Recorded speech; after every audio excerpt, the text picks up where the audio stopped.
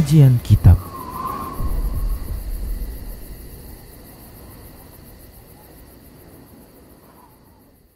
Bismillah, Assalamualaikum warahmatullahi wabarakatuh.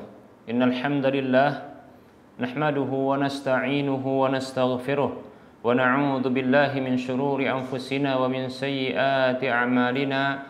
Man yahdihillah fala Wa man yudrilhu fala وأشهد أن لا إله إلا الله وحده لا شريك له وأشهد أن محمدا عبده ورسوله صلى الله عليه وسلم. قال الله تبارك وتعالى يا أيها الذين آمنوا اتقوا الله حق تقاته ولا تموتن إلا وأنتم مسلمون. يا أيها الناس اتقوا ربكم الذي خلقكم من نفس واحدة وخلق منها زوجها وبث منهما رجالا كثيرا ونساء واتقوا الله الذي تساءلون به والأرحام إن الله كان عليكم رقيبا. يا أيها الذين آمنوا اتقوا الله وقولوا قولا سديدا. يصلح لكم أعمالكم ويغفر لكم ذنوبكم. ومن يطع الله ورسوله فقد فاز فوزا عظيما. أما بعد.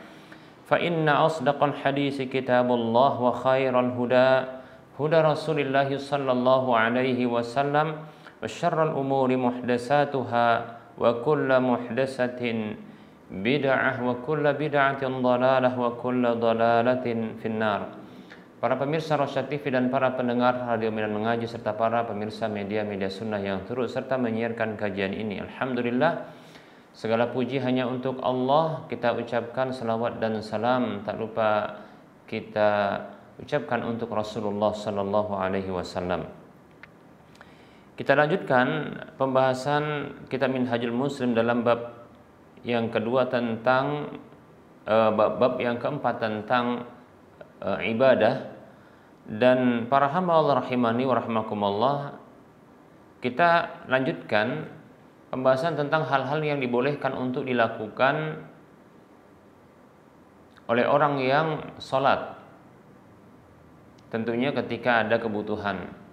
Baik para hamba Allah rahimani wa rahimakumullah pembahasan ini eh, kita bahas sebelum pembahasan hal-hal yang dilarang atau dimakruhkan serta hal-hal yang membatalkan e, sholat. Baik para hamba Allah rahimani wa rahimakumullah. Nah kita lanjutkan di antara hal yang boleh dilakukan dalam bentuk gerakan di dalam sholat adalah menyenggol orang yang tidur ketika ada kebutuhan ya untuk sebuah kebutuhan. Maka boleh untuk ya menyenggol. Orang yang sedang sholat dia bergerak untuk melakukan sentuhan dan e, senggolan ya menyentuh ya.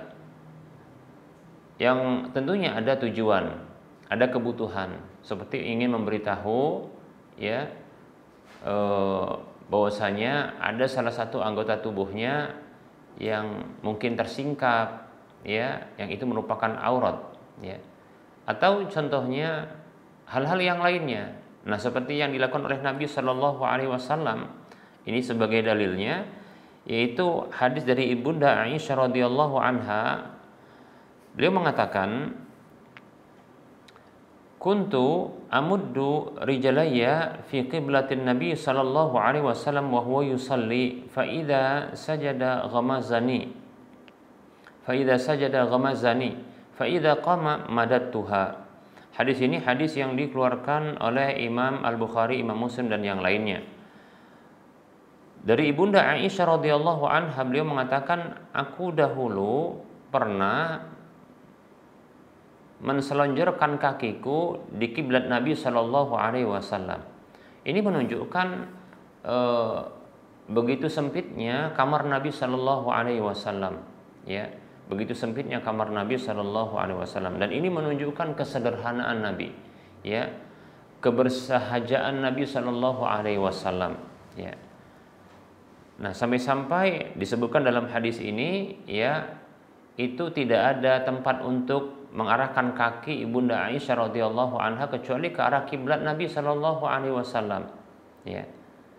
Saking begitu uh, sempitnya tempat ya kamar tidur Nabi Shallallahu Alaihi Wasallam ini ya dan itu menunjukkan ya begitu kecilnya juga rumah Nabi demikian ya baik para hamba Allah rahimani wa rahimakumullah ya Nabi Shallallahu Alaihi Wasallam itu sholat sementara ya ibunda Aisyah radhiyallahu anha kakinya diselonjorkan ke arah kiblat Nabi Shallallahu Alaihi Wasallam. Faidah sajada apabila beliau sujud ghamazani ya beliau menyentuhku menyenggol yaitu menyentuh untuk ya menarik kaki agar Rasulullah bisa sujud demikian ya Faida qama maka apabila aku uh, apabila beliau itu berdiri maka madat Tuhan. Aku kembali ya menselonjorkan kaki tersebut. Demikian ya. Baik para hamba Allah rahimani wa rahimakumullah. Lihat ya Rasulullah di sini ada faedah yang tadi sudah kita sebutkan kita kembali ulangi. Yang pertama bolehnya bergerak ya. Kemudian bolehnya juga memberikan ya pemberitahuan lewat e, sentuhan kepada orang yang sedang tidur. Demikian ya. Dalam kondisi sholat tentunya dan ini kebutuhannya. Karena Rasulullah tidak mendapatkan tempat untuk bisa sujud ya. Demikian. Kemudian yang kedua adalah ini menunjukkan kesederhanaan dan kebersahajaan Nabi Shallallahu Alaihi Wasallam dalam kehidupan. Nah seperti itu ya. Bukan beliau tidak bisa untuk membangun rumah yang mewah yang besar bisa ya. Insya Allah taala bisa ya. Tapi beliau ingin uh, hidup sederhana hidup e, bersahaja demikian. Baik para hamba rahimani wa rahimakumullah. Namun perlu kita sampaikan juga bukan berarti ketika umat Rasulullah SAW itu e, mampu cukup dan kaya sehingga membangun rumah yang lebih besar dari Nabi SAW itu merupakan kesalahan dan kekeliruan tidak ya bukan itu ya intinya ya karena Rasulullah SAW sendiri beliau bersabda dalam hadis yang diriwayatkan oleh Imam Ibnu Majah, ya beliau mengatakan la ba'sa bil ghina liman ya. Tidak mengapa kaya bagi orang yang bertakwa, demikian, ya. Jadi kaya tidak mengapa. Ya. Bahkan Rasulullah menyebutkan di antara kebahagiaan, ya, ada tiga kebahagiaan, ya, dunia di antaranya adalah Rasulullah menyebutkan lapangnya rumah. Ya, lapangnya rumah. Nah, ini bisa makna zahir yaitu rumah yang lapang, besar demikian. Nah, begitu. Jadi bukan merupakan sebuah kesalahan ya. Jangan dikira bahwasanya kalau gitu kita hidupnya seperti Rasulullah. Tidak. Rasulullah hanya ingin memberikan contoh ya tentang kebersahajaan dan beliau juga tidak ingin ya membuat umat-umat beliau yang uh, miskin dan fakir. Nah ini uh, menjaga jarak dengan beliau Shallallahu Alaihi Wasallam. Ya, nah inilah uh, dakwah Nabi Shallallahu Alaihi Wasallam ya kepada umatnya sehingga beliau itu bisa masuk de, ke seluruh ya ke seluruh lapisan masyarakat demikian ya Nah, kalau beliau memiliki rumah yang mewah, tentunya ini akan membuat orang-orang fakir, orang-orang miskin ini enggan untuk bisa bertemu dan bertanya kepada Rasulullah SAW. Dengan kondisi Rasulullah yang sederhana itu saja, terkadang ada sebahagian yang enggan, ya, ya yang malu, ya. Tapi ya, alhamdulillah, ya kita dapatkan para sahabat juga ya bertanya kepada Nabi datang ke rumah Nabi SAW. Kalau rumah Nabi itu mewah, rumah Nabi itu bagaikan istana, maka ini akan membuat enggannya orang-orang yang fakir, miskin untuk bisa ya bertanya tentang urusan agama demikian. Nah ini di antara hikmahnya kenapa Rasulullah SAW ya beliau ini memilih hidup sederhana. Ya, baik para hamba Allah rahimani wa rahimakumullah. Lihat ya, bagaimana pengorbanan Nabi. Padahal beliau mampu untuk jadi orang kaya. Ya. Ya coba bayangkan beliau saja Shallallahu Alaihi Wasallam itu pernah pernah ya ketika menang perang beliau itu pernah e, membagikan jatah ya belanja kalau bahasa kita jatah belanja ya uang belanja gitu ya kepada istri-istri beliau untuk setahun dan itu semua istri beliau. Semua istri beliau. Ya. Semua istri beliau itu diberi jatah makan setahun, uang belanja setahun, dan itu semuanya. Itu miliaran jumlahnya. Ya, demikian. Namun Rasulullah tidak membangun ya rumah, ya. Lawang Nabi SAW ketika baru saja tiba ya ke Madinah saja itu bukan ngurusin pembangunan rumah, tapi malah pembangunan masjid. Nah demikian ya, demikian ya perhatian Nabi Shallallahu Alaihi Wasallam. Ya, dan hikmahnya sudah kita sebutkan, beliau tidak ingin menjaga jarak ya dengan orang-orang fakir miskin atau umat-umat Rasulullah yang lainnya. Demikian. Ya, dengan kesederhanaan beliau, semua uh, lapisan masyarakat bisa bertemu dengan beliau. Demikian ya. Baik para hamba Allah rahimani wa rahimakumullah. Kita lanjutkan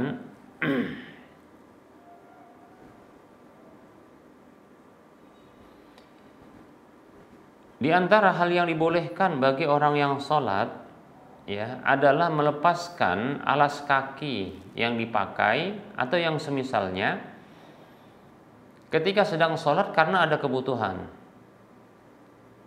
Ya, karena memang ada kebutuhan. Ya, contohnya ketika ada kotoran di alas kaki tersebut. Nah ini perlu kita ketahui kenapa kok Rasulullah SAW ini memakai alas kaki seperti sandal, seperti sepatu dalam masjid. Yang pertama, alasannya karena masjid Nabi SAW dahulu itu beralaskan pasir ataupun tanah, ya. Jadi tidak seperti sekarang demikian. Kemudian yang kedua, memakai alas kaki itu lebih membantu ketika itu ya lebih membantu untuk kekhusyuan. Mengapa? Karena kondisi Madinah itu panas dan dingin. Kalau musim panas ya begitu panas, ya be kalau musim dingin ya begitu dingin. Ya ini mempengaruhi tentunya kekhusyuan dengan diberikan pembatas alas ya untuk kaki ini ya. Sehingga ini tidaklah memberikan efek ya efek yang berlebihan. Ya, nah seperti itu.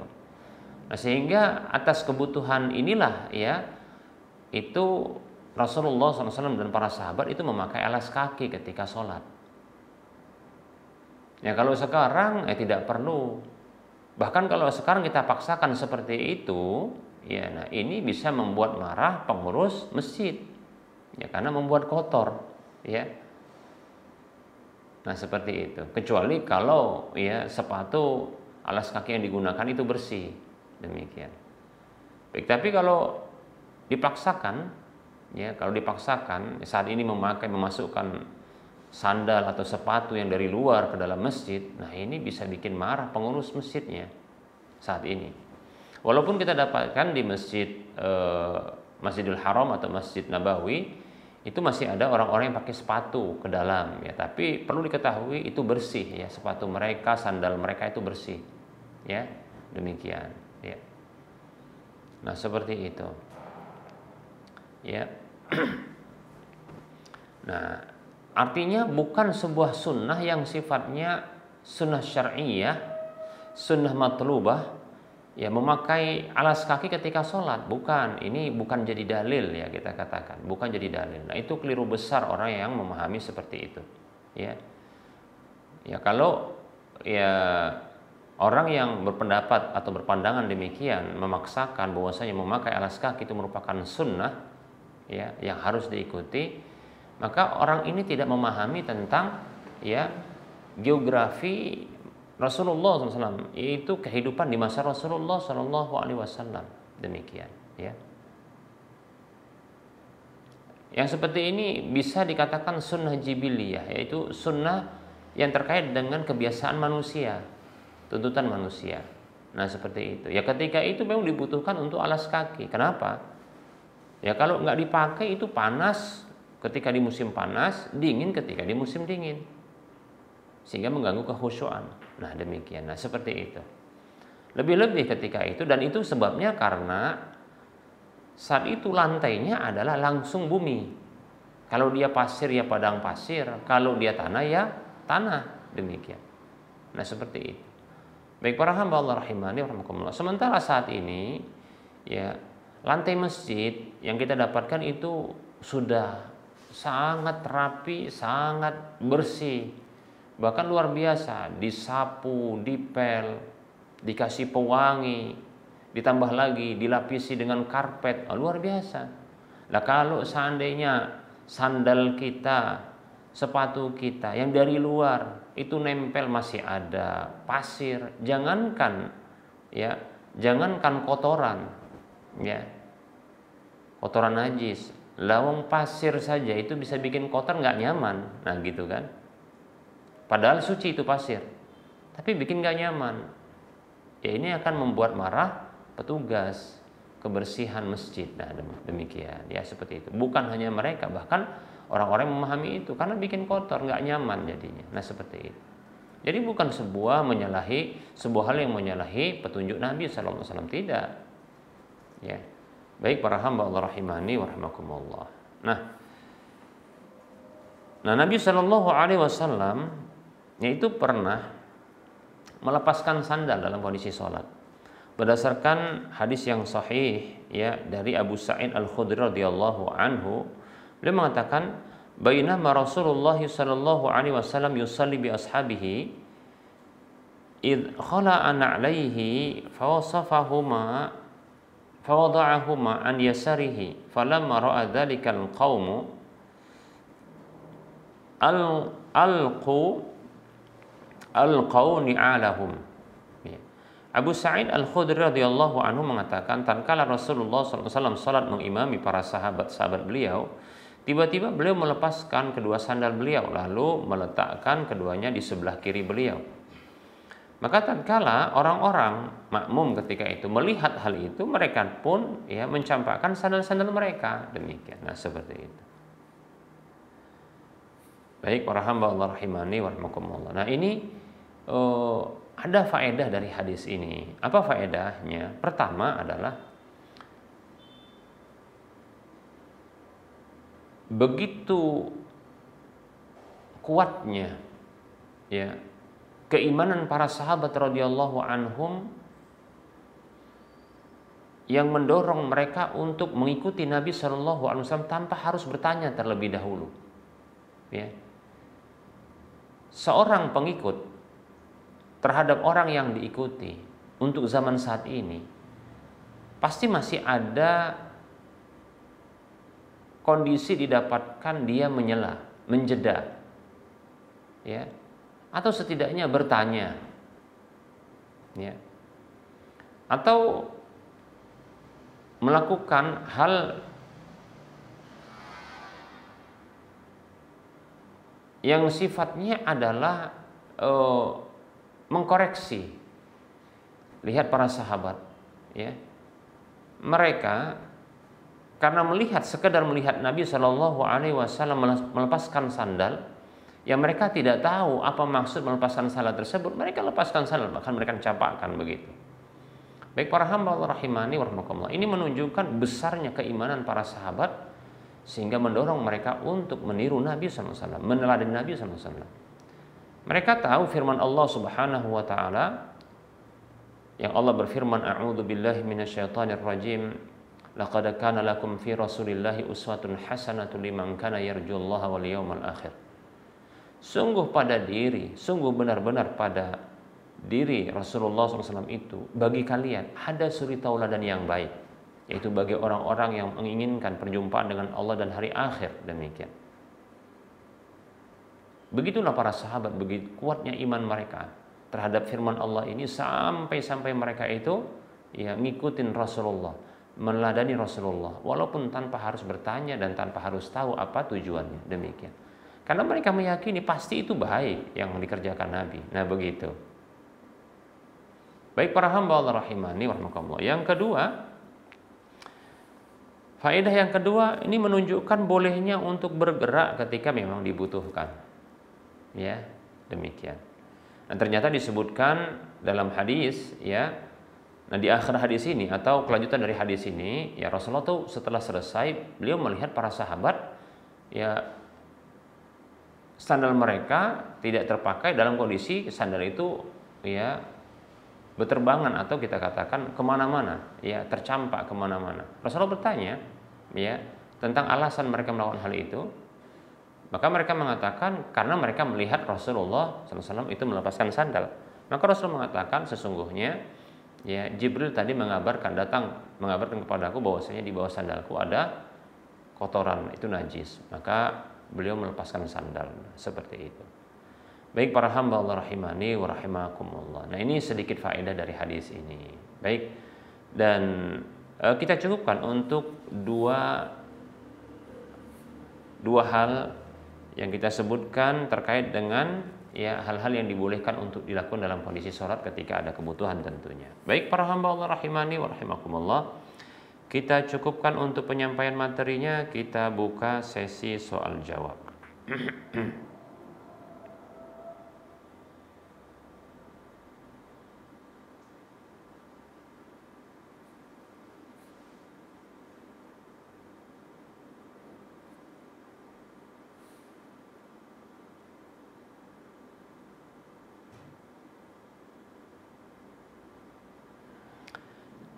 Baik para hamba Allah rahimani wa rahimakumullah.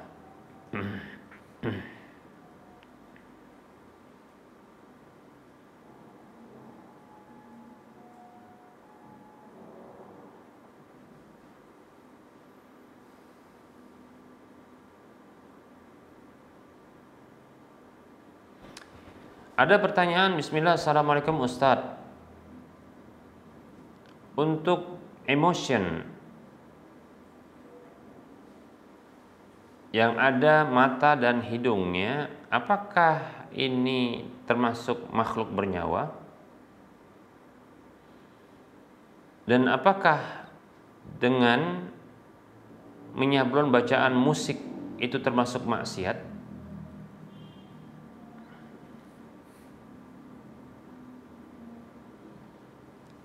Bismillahirrahmanirrahim. warahmatullahi wabarakatuh.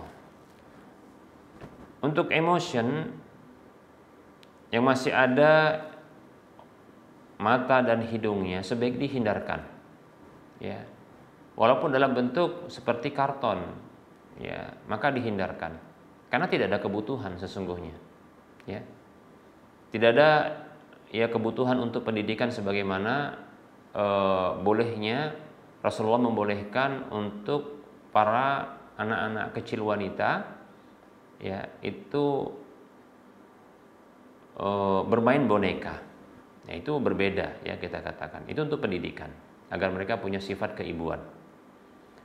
Maka ketika tidak ada kebutuhan seperti ini, maka tidak perlu untuk ya memberikan emotion yang dia ada mata dan hidungnya, ada mulutnya demikian. Sebaiknya dihindarkan, sebaiknya dihindarkan. Ya. Kemudian begitu juga ketika mencantumkan musik, ya garansi musik kopi yang seperti ini seolah-olah ya musik itu halal. Ini memberikan kesan musik itu halal. Ya. Memberikan kesan dan ini bentuk membantu untuk tersiarnya sebuah kemaksiatan. Untuk eh, menjadikan sebuah kemaksiatan itu hal yang biasa. Nah, jangan demikian, jangan bantu, tidak boleh demikian, ya. Kalau mau katakan ya ya haram saja musik itu. Dituliskan nama musik untuk dijelaskan tentang keharamannya nah begitu. Bukan bukan dijelaskan uh, dituliskan tanpa ada penjelasan. Nah ini bisa jadi bentuk iklan pembenaran ya legitimasi dari orang yang beriklan. Nah seperti itu. Nah hati-hati yang seperti ini ya sebuah kemaksiatan apabila disebutkan maka dijelaskan tentang keharaman. Ya. Agar orang ya ramai-ramai meninggalkan. Nah seperti itu. Baik ya. Wallahu taala alam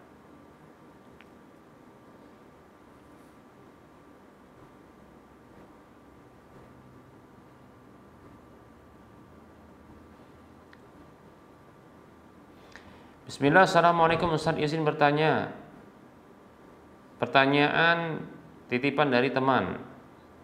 Teman Ana ada rencana untuk melakukan hajatan pesta sebagai bentuk rasa syukur karena anaknya sudah dikhitan. Dan rencananya saat pesta sekarang akan diadakan tausiah sebagai pengganti hiburan yang biasa diisi menggunakan alat musik. Pertanyaannya bagaimana hukum hajatan yang seperti ini dalam hukum syariat? Apakah menyelisih syariat ataukah tidak? Mohon penjelasan Ustaz. Syukran jazakallahu khairah.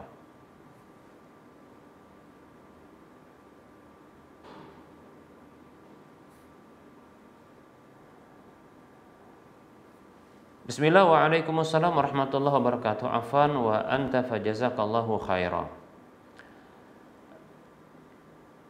Membuat walimahan untuk acara khitanan ini insya Allah taala tidak mengapa. Ya, tidak mengapa.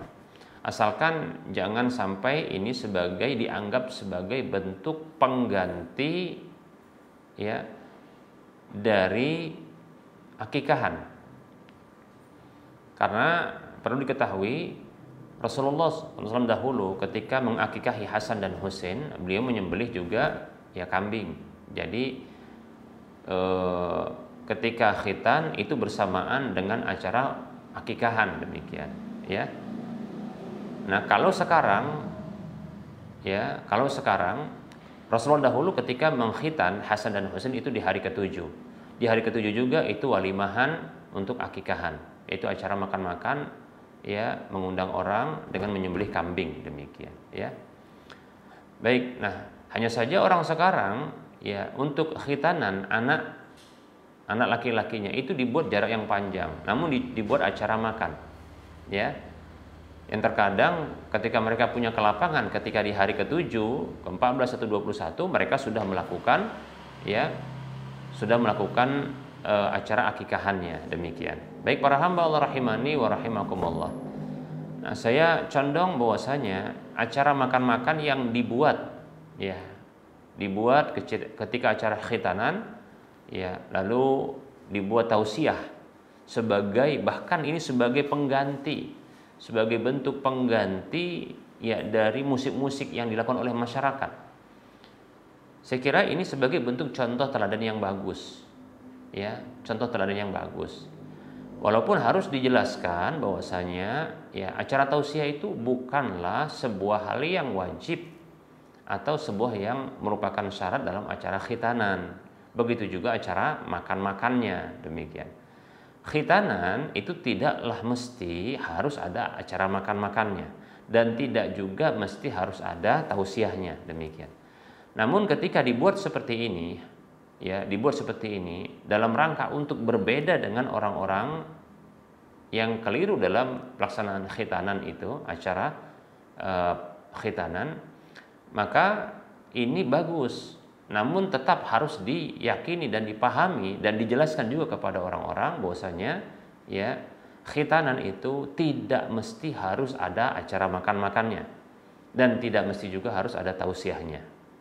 Nah, ini dilakukan hanya saja untuk memberikan solusi agar tidak jatuh ke dalam kemaksiatan. Wallahu taala alam.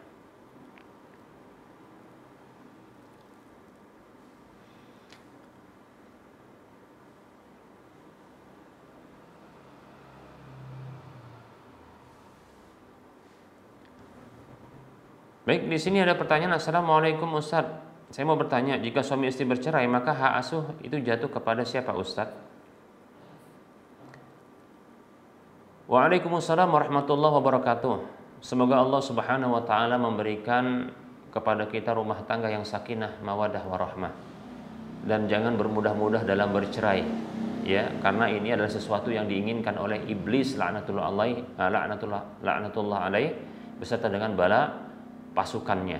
Ya demikian. Oleh karenanya ya kita berlindung kepada Allah dari perceraian. Ya kalau bisa kita hindarkan perceraian tersebut ya.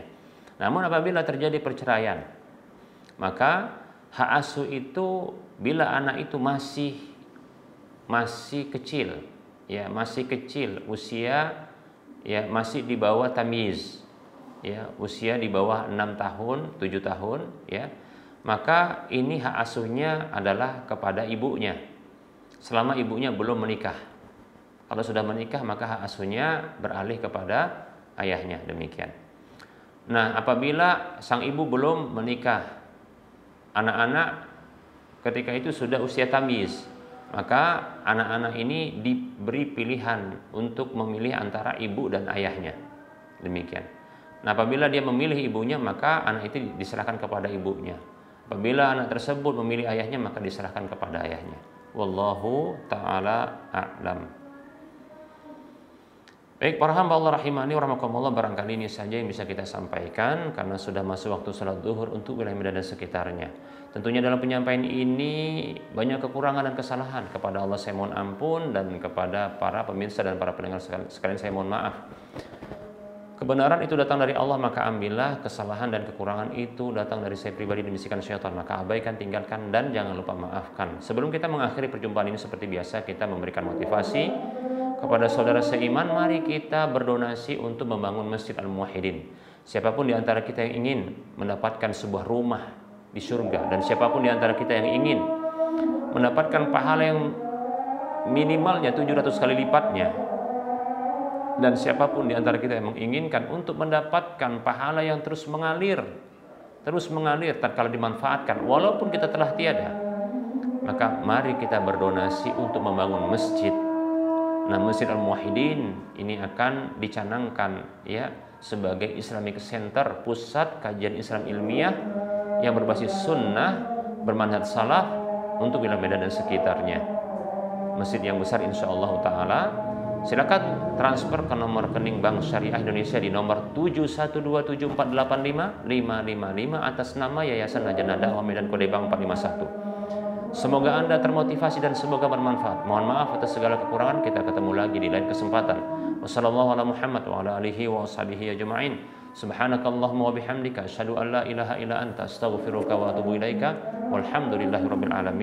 Wassalamualaikum warahmatullahi wabarakatuh.